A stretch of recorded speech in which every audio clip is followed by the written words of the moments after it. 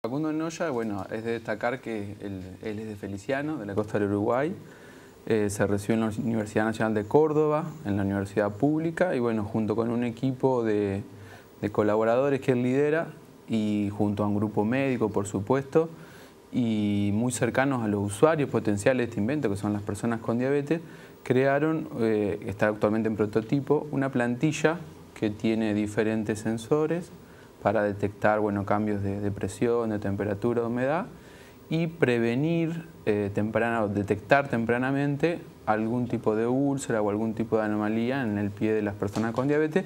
que es un área muy afectada por la enfermedad, sobre todo cuando la enfermedad ya lleva algunos años y bueno, se ha convertido en un problema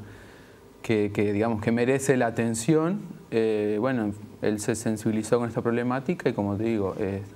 después de muchos años de, investigación, primero hizo su tesis, después siguió el proyecto, el proyecto se llama Proyecto Evers,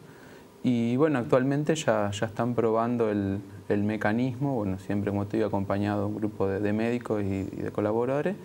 y bueno, la idea es, llegar a comercializarlo, eh, él lo va a explicar en,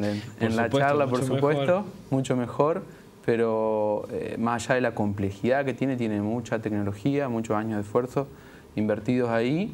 Eh, el funcionamiento es sencillo porque la plantilla está monitoreada desde el celular, desde un programa que se instala en el celular, y el profesional médico va a poder verlo en un software.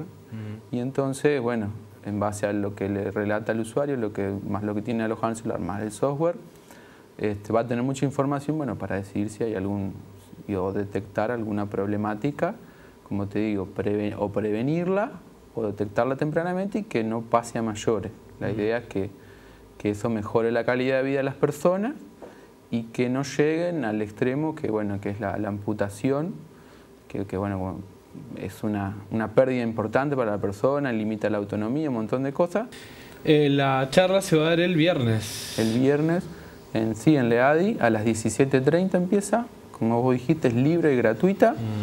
y, bueno, van a tener la oportunidad de conocer el producto, de charlar con él y también, ¿por qué no?, de conocer las, otras actividades que hace Leadi, eh, que son